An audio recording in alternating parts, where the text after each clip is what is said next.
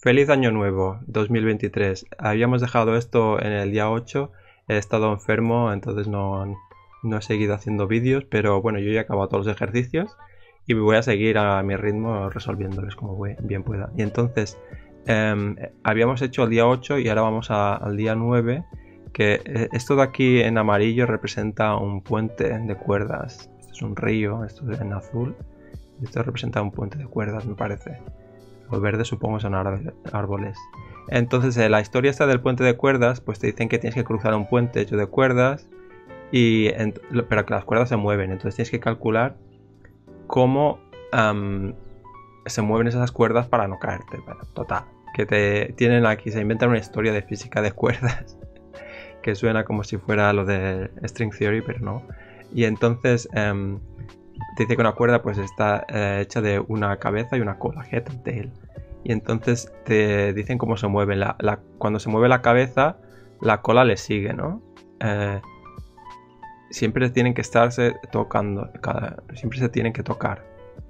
Um, diagonally adjacent never overlapping both corners touch. O sea, si se están una encima de otra, también cuenta como que se están tocando.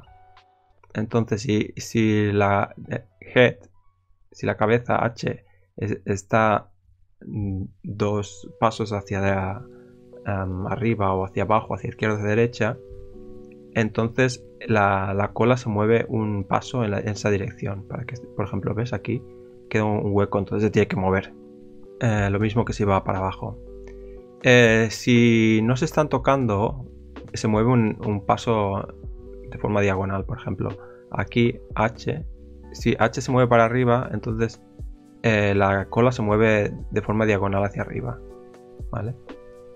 Eh, si H va hacia allá, pues este se mueve de forma diagonal hacia arriba.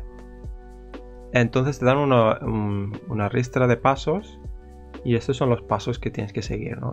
R de derecha, derecha, cuatro pasos. Up, arriba, cuatro pasos. L de left, izquierda, tres pasos. Down, hacia abajo, un paso. Y bueno, entonces aquí tienes un ejemplo que empiezan aquí, la, cola y, la cabeza están en la misma posición y se van moviendo, ¿no? Hacia la derecha, bla bla bla, la cola le sigue, luego hacia arriba, todo esto, bla bla bla bla bla. En fin, y entonces al final em, te dicen que calcules las posiciones únicas que ha, ha visitado la cola. Por ejemplo, aquí, estas que están marcadas con el hash este, pues son 13 posiciones en total que han sido visitadas por lo menos una vez.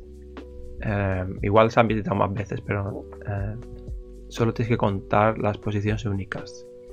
Y entonces em, te dan una, entrada y tienes que calcular eso, las posiciones únicas.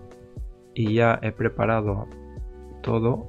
Aquí tenemos em, el test este del ejemplo mi entrada y he creado una función aquí del día 9 y aquí está también en el main.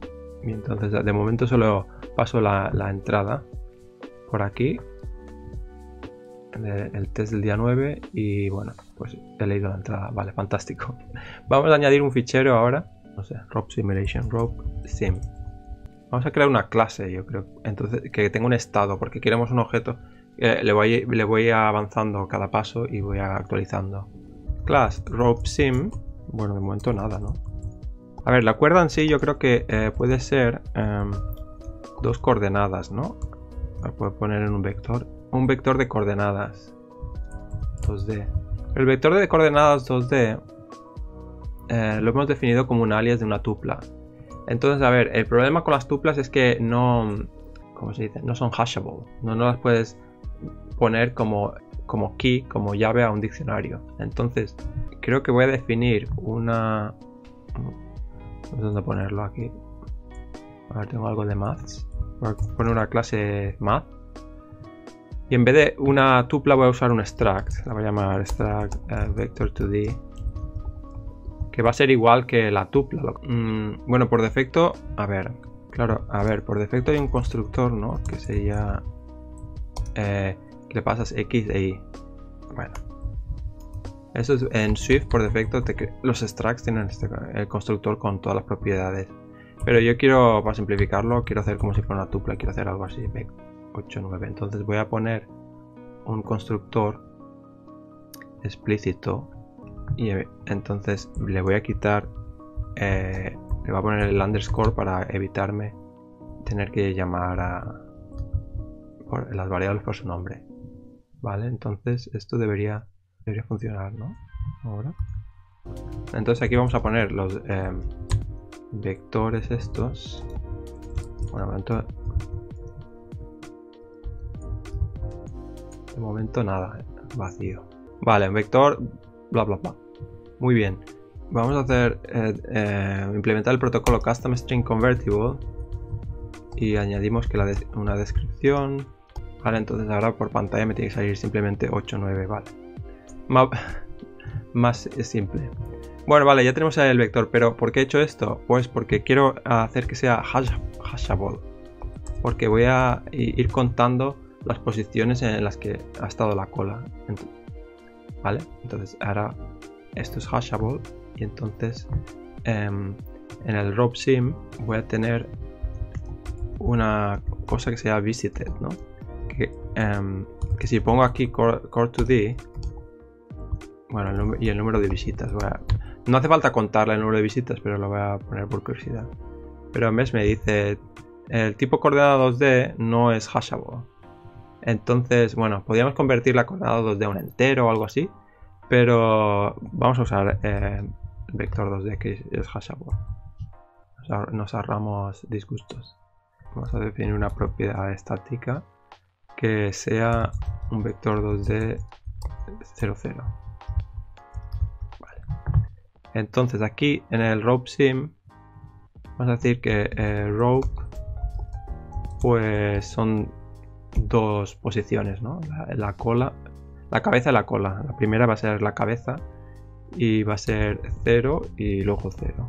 Y visited pues nada, empieza con esto vacío. No, esto está mal, ¿no? Porque visited sí, o sea, como empiezan en el 0, aquí en el 0 lo han visitado una vez. ¿Cuál va a ser eh, el algoritmo? ¿Cómo vamos a solucionar esto? Pues vamos a crear aquí em, el rope este. Y em, para cada paso de la entrada por in input, pues vamos a aplicar yo un movimiento, ¿no? Rope sim move line. Algo así. Bueno, esto no está definido, ahora lo vamos a definir esto. O sea que le pasamos un, string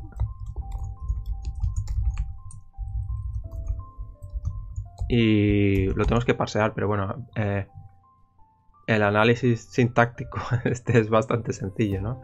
Los argumentos, split, bueno, line, no sé, igual tendré que llamar esto instruction, ¿no? La instrucción, pero bueno. Instruction, split, un espacio. Separado por un espacio. Y entonces luego la dirección puede ser R, R, L, U o D. Arriba abajo, izquierda, derecha. Entonces vamos a usar una enumeración, como hemos hecho en anteriores ocasiones.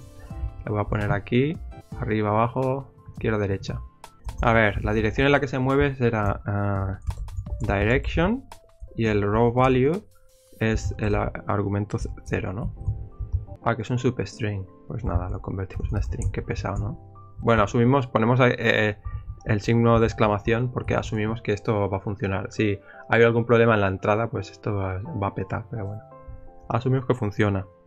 El número de posiciones se tiene que mover es el segundo argumento. O sea, convertimos el segundo argumento en un entero. Y vamos a hacer lo mismo del signo de admiración. Asumimos que esto funciona. No queremos un opcional por el número de pasos que te digan, pues por nada, una underscore porque no me interesa saber. De 0 a la cuenta, cogemos la cabeza, que será el rope first, la primera en rope tenemos las dos posiciones, decimos que la primera es la cabeza, un switch aquí con la dirección. Entonces depende de, de dónde vaya, si va hacia arriba, el rope 0 head x y get y más 1. O sea, para, para arriba. Bueno, todos van a ser una cosa así, ¿no? Para abajo, para la izquierda, para la derecha. Se va para abajo, pues hacemos eh, menos 1. Si va para la izquierda, menos 1. A la derecha, x más 1. Vale, estos son todos los movimientos posibles. Y entonces luego lo que tenemos que actualizar es la cola, ¿no? Pues necesitamos una función que se llama update tail o algo así. Y luego actualizar el número de sitios visitados. Si se mueve la cola, porque si no, como si no se ha movido, pues no hace falta. Vamos a hacer if update tail que devuelva un booleano, ¿no? De momento falso, porque no, no, se mueve nunca. Si se mueve, pues, eh, uy, visited rope last, que es el último elemento que es la cola, lo incrementamos en 1.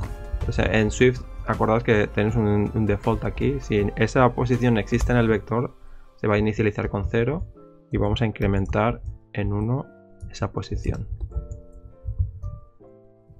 ¿Vale? Estamos contando. Que ya os digo que no hace falta. Podría ser un set, ¿no? Un conjunto, pero eh, me gusta contar el número de veces que ha ido.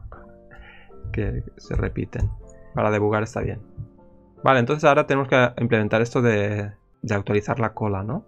Eh, tiene que seguir esos movimientos que te dicen que si, eh, si hay una diferencia de más de uno, pues eh, se tiene que pegar a, la cabeza, etc. Entonces, el head, hemos dicho que es rope, rope first.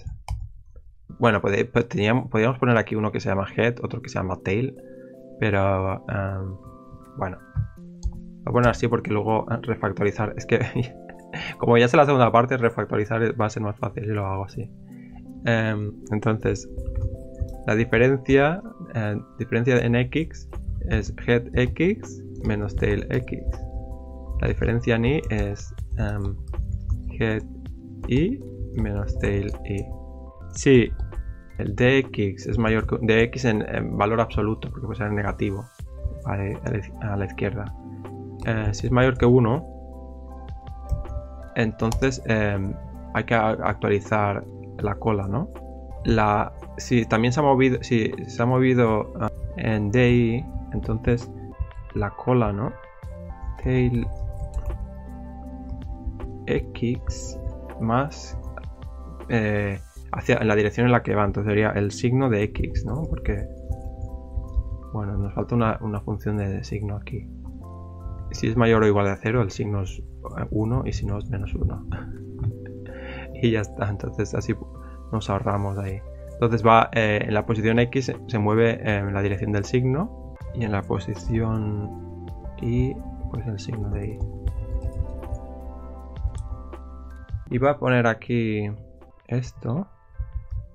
Pero es lo mismo, ¿no? Si hago la suma, ¿no? Porque si el signo este, si esto es 0, Claro, porque eh, solo puede ser 0 o 1. Ah, no. Claro, porque el signo devuelve 1. Debería devolver 0. Bueno, es un signo un poco raro. Igual, eh, em, bueno, como lo defino yo, me lo invento. Si es 0, devuelve 0 esto. Entonces, si defino el signo así, yo creo que simplemente puedo hacer... ¿no? Bueno, y eso devuelve verdadero. Bueno, aquí es lo mismo, ¿no? Porque rope... Yo creo que es lo mismo aquí, o sea, vamos a ver. O sea, si pongo aquí... Estoy refactorizando aquí. o sea, si se mueve... Tengo que mover, esto también, ¿no? En la dirección de la cola. Bueno, yo creo que ya estaría, pero vamos a... Entonces aquí, bueno, ya lo tenemos, ¿no? O sea, eh, empezamos la simulación, vamos leyendo cada línea del test y eh, vamos moviendo la cuerda, ¿no? Nada, las soluciones. Tail visited sim visited count.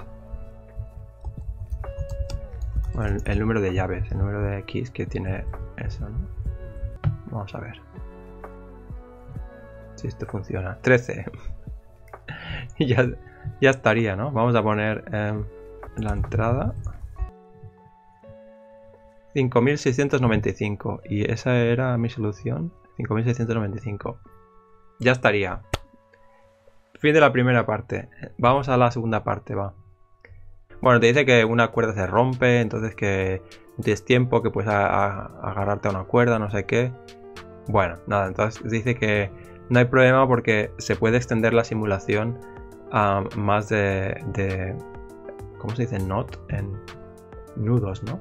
Se puede eh, extender la simulación a más de dos nudos, ¿no? Entonces, en vez de tener, como teníamos ahí, la, cabeza y la cola, pues hay 10 nudos.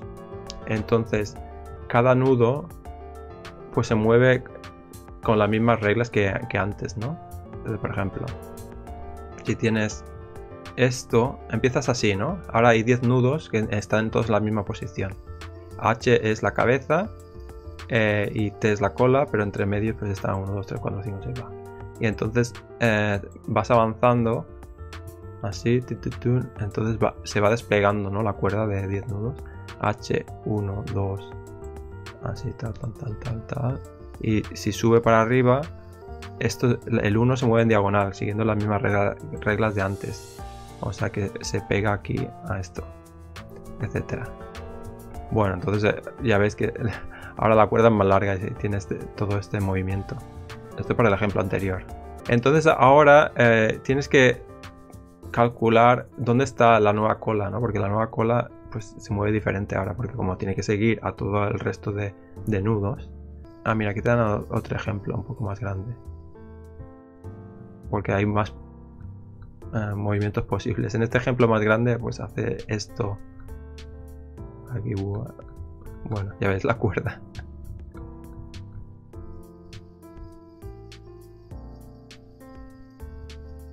al final acaba así, bueno.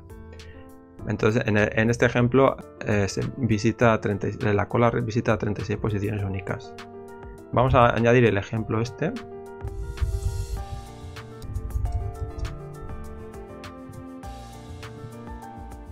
Bueno, eh, claro, ahora nos dice 88, ¿no? Pero eh, con una longitud de 10 nudos debería dar 36.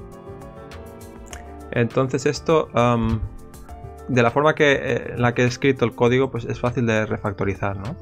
Vamos a ver, tenemos el rope sim, ¿ves? Lo he puesto en vector porque ya, ya sabía qué es lo que iba a pasar. Entonces, en vez de...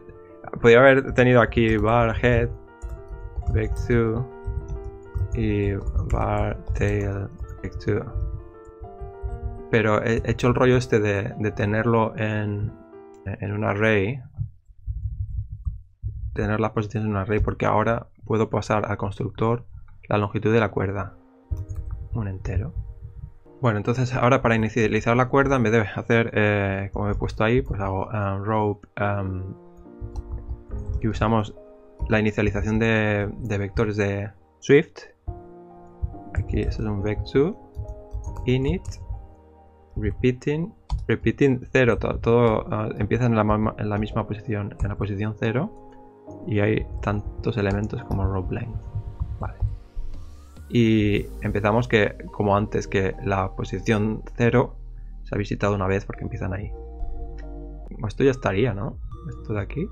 Y ahora la única cosa es que el update tail este va a ser diferente, ¿no? Porque el update tail lo voy a reciclar para que em, lo pueda usar para todas las partes de la cuerda. Vamos a poner aquí A y B. Entonces mi head va a ser rope A y rope B. El tail. Porque bueno, o sea, es cada, cada dos nudos esto en vez de ser rope 1 va a ser rope B. Entonces a la hora de moverse, aquí hay que hacer un bucle, ¿no? De 1 a rope count. De 0 no, porque el 0 es la cabeza, que la cabeza la hemos movido aquí, que sigue siendo el rope first, el primer elemento del vector. Y entonces el update del este va aquí, ¿no? Esto va a ser un poco diferente. Vamos a ver. Sacar esto de aquí. A va a ser eh, I menos 1. O sea, la cabeza, porque empieza, empiezas con 1 y la cabeza es el anterior, que es el 0. Y B, pues es I. ¿Vale? Y si no se mueve, pues ya no. cortamos el rollo porque ya no hace falta seguir. O sea, si aunque la cuerda tenga 10 nudos, si el segundo nudo ya no se mueve, no hace falta que me sea el tercero porque es que no se ha movido. Entonces ya cortas. Y si se ha movido, no quieres actualizar esto de visit count solo si estás en la, última posición. Entonces, I count menos 1. Entonces actualizamos. Y esto, bueno, esto no se llama si, si la cola no se ha actualizado porque eh, como llamamos al break, o sea, es equivalente a, lo anterior. Bueno, por defecto la longitud va a ser 2, entonces el código anterior debería ejecutarse. Vale, sigue dando 88.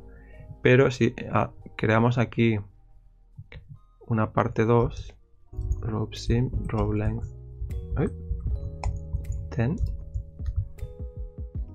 y hacemos lo mismo que hemos hecho antes.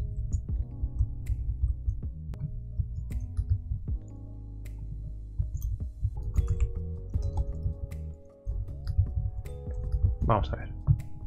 Esto queda. Debería dar 36. 36, efectivamente. Parte 2 funciona. Entonces ahora podemos pasar mi entrada. A ver.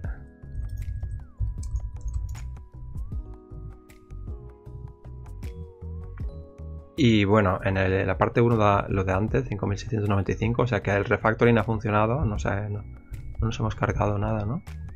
5695, eh, vale. Y la segunda da 2434. Efectivamente, resuelto. y ya estaría, ya estaría resuelto. Lo que pasa es que ahora vamos a hacer un poco de eh, visualizar lo que hemos hecho que también em, yo estoy haciendo esto de visualizar lo que hemos hecho ahora al final, ¿no? Pero a veces va bien hacerlo antes, ¿no? Para debugar, porque, a ver, este problema no es muy complicado, pero siempre es, fácil equivocarse. Entonces, por eso te ponen aquí estas cosas, para que tú puedas ir comprobando que se mueve tal como, como se espera. Entonces, bueno, vamos a, hacer una visualización. Yo en vez de visualizarlo así, lo voy a hacer en una imagen. Entonces, ya os acordáis que hemos hecho, bueno, mirar en los anteriores vídeos que tengo una función de, imágenes, eh, una clase para exportar esas imágenes. Entonces voy a poner aquí una, cosa opcional, ¿no? Un output. Applet output. Entonces hacemos todo el rollo ese. Copio pego comandos que puedes utilizar. Entonces em, me gusta poner eso por pantalla. Vamos a pasar en un output. ¿Dónde guardamos esto? Ah, mira aquí. Este va a ser el prefijo de las imágenes. Bueno, entonces me sale aquí la ayuda que he puesto. Dice, tus imágenes se han guardado aquí. No, es mentira porque todavía no las he guardado, pero bueno.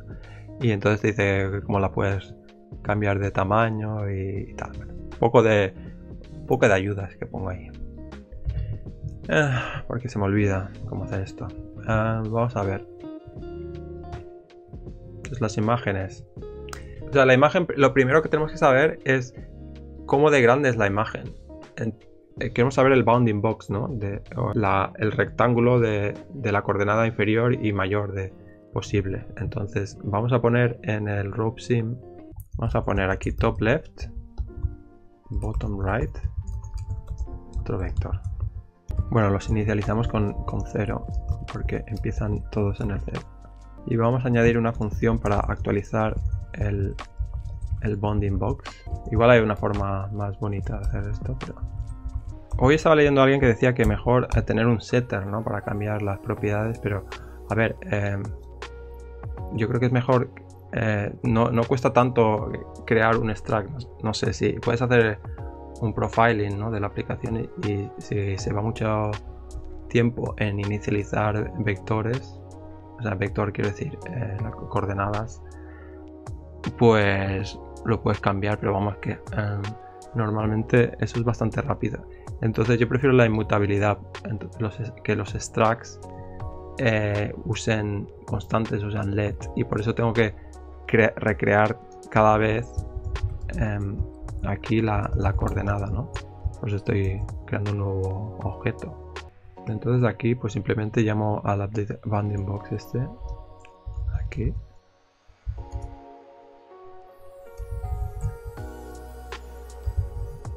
Con, con comentario. Y que esta función solo es para ayudarnos a visualizar em, esto. Bueno, la coordenada más pequeña es menos 55, menos 23 y la posición más grande 243, 167. Bueno, entonces necesitamos una imagen de, de 246 em, más 55 de ancho y de alto 167 más 23, ¿no? Entonces, eso es lo que vamos a poner. A ver, el, tamaño de la imagen es eh, bottom right menos Sinten top left más 1. ¿No? Porque, bueno, si, es de 0000 es un píxel, no son 0 píxeles, hay que, tiene que sumar 1. Em, bueno, esto no funciona porque no, no sé cómo sumar vectores, pero vamos a añadir aquí. Que nos va a, nos va a ayudar esto. Um, left hand side, un vector. Bueno, vector, estoy diciendo vector, pero se confunde con los arrays. Una coordenada. Eh, tengo una coordenada y otra coordenada y eso devuelve otra coordenada. Left hand side y más lo mismo para la resta. Ya está.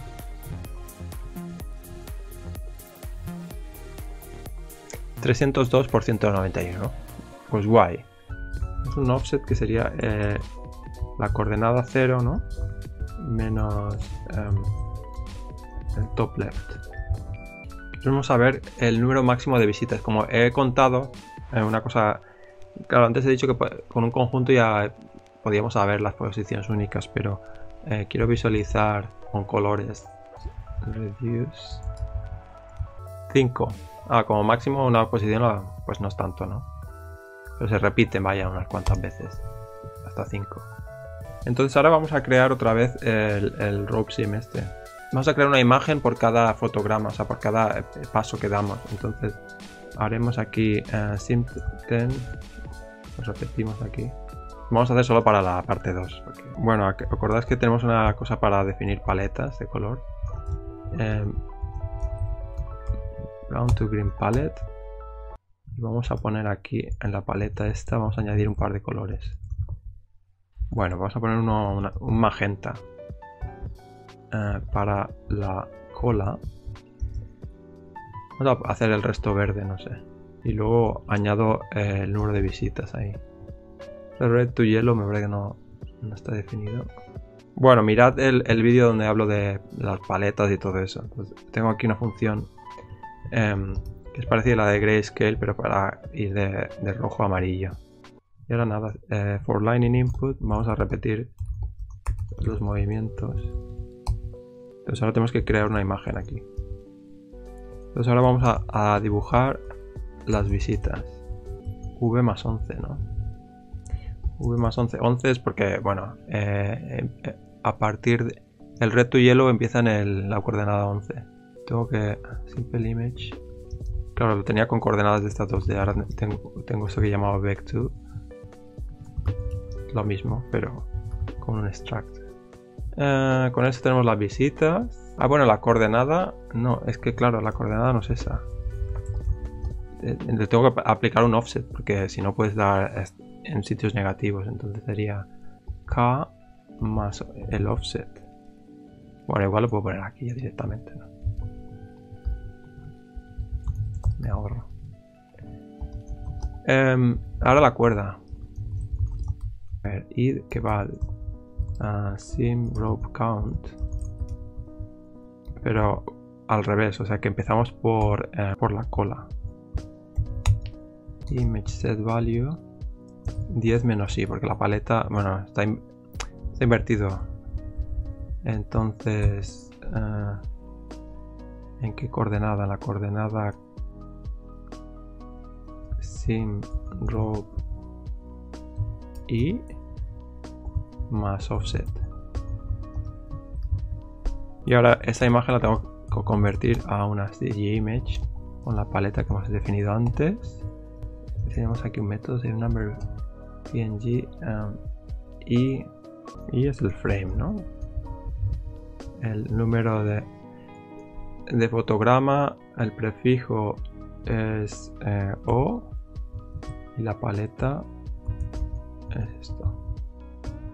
Bueno, puedo, marcar la función como throws. Y aquí cuando lo llamo, eh, como hay un catch ahí. Bueno, yo eh, diría que ya está, vamos a ver qué pasa.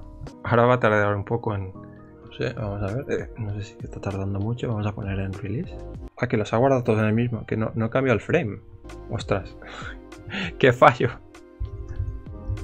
Claro, así parecía que solo había una imagen ya está, ¿no? 1999, o sea, 2000, 2000 frames. Entonces aquí con la ayuda esa que he puesto aquí para crear una, un GIF animado o en, bueno, un GIF animado con 2000 frames me parece demasiado. Vamos a hacer un MPEG. Uy, que el, eh, el alto no es divisible por 2. No me deja convertirlo. Vaya por Dios. Esa es la cuerda ahí, no sé si se ve, pero... Este es el final. Para hacerlo divisible entre 2, podemos añadir 1, dividir entre 2 y multiplicar por 2. Sumo, 1 porque por si em, se redondea, es entre, eh, entre enteros, división de enteros. Esto debería dar un número par. Vale, 302, o sea, ahora es 302 por 192. Vamos a ejecutar esto otra vez. Sí,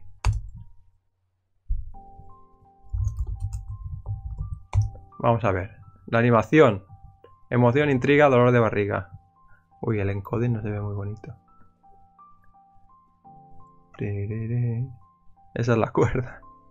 Bueno, más que una cuerda, eso es una culebra, ¿no? Esto va muy lento. Vamos a poner esto a 60 frames por segundo, a ver. 33 segundos. La cuerda culebra. Y ese es el fin. Y ya estaría. No se puede mejorar el, encoding este. TRF. 0 is lossless. only.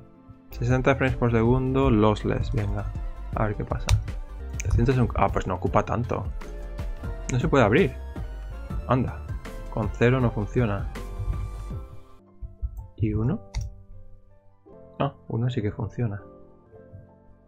Pero sigue, sigue viéndose un poco feo, ¿no? Bueno, igual un poco mejor que antes. Bueno, aquí tenemos la culebra.